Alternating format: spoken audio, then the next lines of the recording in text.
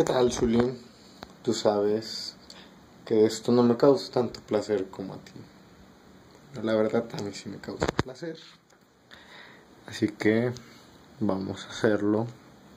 Quiero que seas testigo de cómo se realiza este hermoso y fascinante proceso.